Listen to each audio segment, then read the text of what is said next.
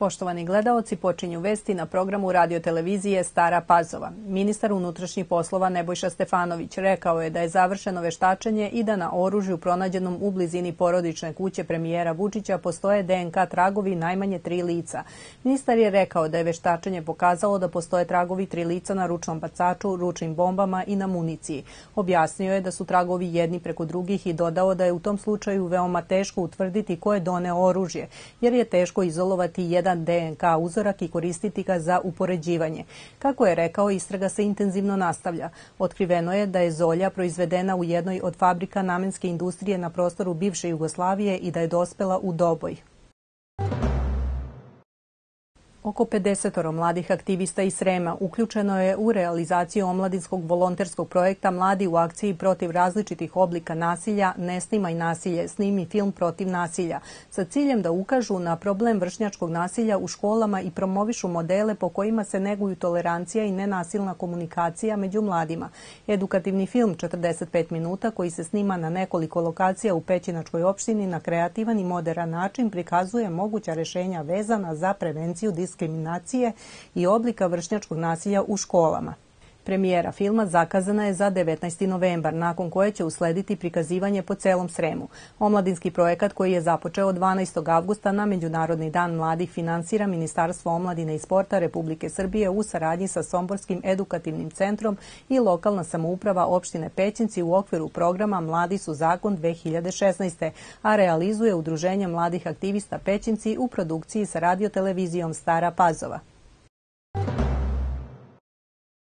Širom sveta se već danima priprema za noć veštica koja se proslavlja danas, a Srpska pravoslavna crkva i njeni vernici obeležavaju dva praznika, posvećena Svetom apostolu i evanđelisti Luki i Svetom Petru Cetinskom, koji su, iako predstavnici dve različite epohe, svojim delima zadužili pravoslavlje. Sveti Luka je bio među prvim propovednicima hrišćanstva, savremenik Isusa Hrista i jedan od pisaca četvoro evanđelja. Praznik je u narodu poznat kao Lučindan i česta je slava srpskih pravoslavnih porodica. U osnovi hrišćanske propovedi su evanđelje po Luki i dela svetih apostola. Pored svetog Luke, Srpska pravoslavna crkva slavi svetog Petra Cetinskog.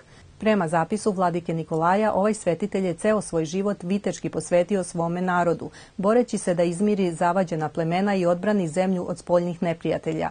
Oba posla uspešno je obavio, a posebno se slavi njegova pobeda nad Napoleonovom vojskom u Boki i Dalmaciji.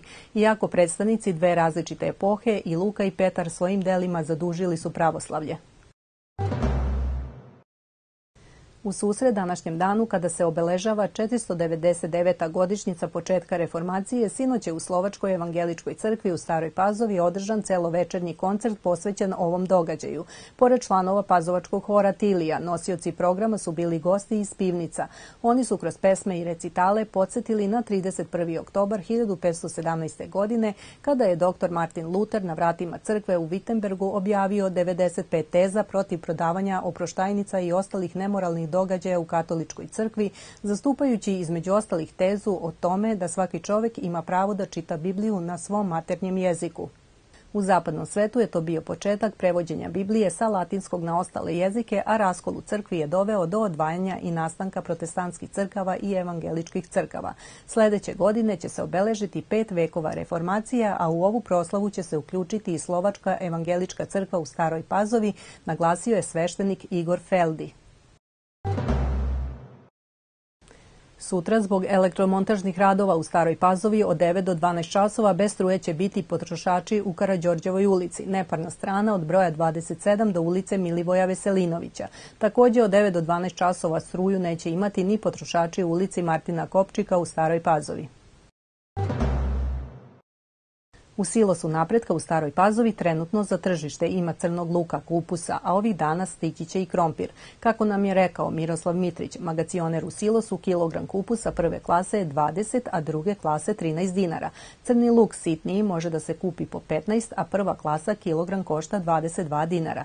Uskoro će u ponudi biti krompira u džačićima po ceni od 25 dinara za 1 kilogram, a sve cene su sa PDV-om. Kupci po plaćanju na blagajni silosa odmah preuzimaju namirnice, kaže Mitrić.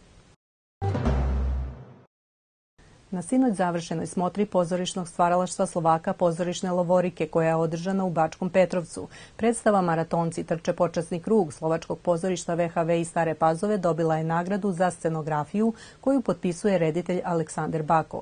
Janko Šarkezi iz Pazovačkog ansambla poneo je nagradu stručnog žirija za najbolju mušku ulogu. Vladimir Vereš i Zlatko Fabri su dobili glumačke pohvale dok je Stanislava Bako proglašena za najboljeg debitanta.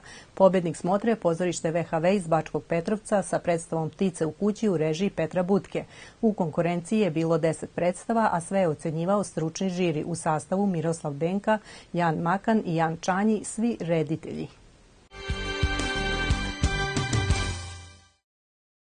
Odbojkaši jedinstva doživjeli su novi poraz u prvenstvu Superlige. U trećem kolu poraženi su kao gosti od Niša sa 3-1 u setovima i bez osvojenog boda su na posljednjem mestu na tabeli. U trećem kolu prve lige odbojkašice omladinca savladale su Novim Banovcima, Kraguj Radničke iz Kragujevca sa 3-0 u setovima i sa 9 bodova su prve na tabeli. Košarkaši Dunava i Starih Banovaca doživjeli su i drugi poraz u prvenstvu Košarkaške lige Srbije. U Hali Park u Staroj Pazovi u četvrtom kolu izgubili su od Dinamika iz Beograda sa 78-63. Posle četiri odigrane utakmice Dunav ima šest bodova i deveti je na tabeli. Neverovatan incident dogodio se na poluvremenu utakmice Vojvođanske lige grupa Jug između Hajduka i Sremca u Čurugu, pošto je sudijskoj trojici prećeno pištoljem. Kako prenosi sportski žurnal, sudije i gosti iz Vojke preživeli su torturu u Čurugu, što je u zapisnik uneo delegat Vladan Aleksić. Na poluvremenu su do sudijske slačionice sa spoljne strane došlo lica od kojih je jedan izvadio pištolj i kuckao u prozor, a drugom rukom pokazivao na njega. Nismo videli identitet lica, pošto je prozor zatamljen, navodi se u izveštaju izveštaju Aleksića.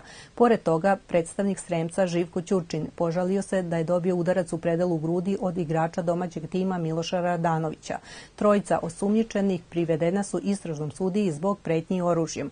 Utakmica je između Hajduka i Sremca završena rezultatom 2-2, a evo i rezultata ostalih futbalskih utakmica odigranih za vikend.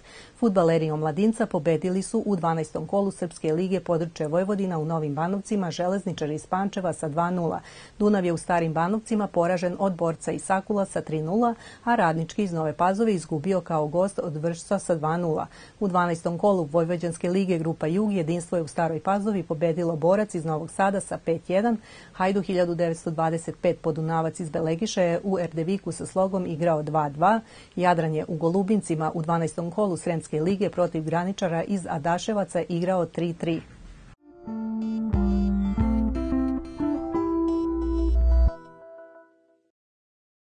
Vreme će sutra nakon veoma hladnog jutra tokom dana biti umereno oblačno i prohladno. Duvaće slab do umeren zapadni vetar. Krajem dana u skretanju na južni. Minimalna temperatura 2, najviša dnevna i 11 stepeni Celzijusa. Pratili ste vesti na programu radio televizije Stara Pazova. Hvala vam na pažnji. Ostanite uz naš program. Doviđenja.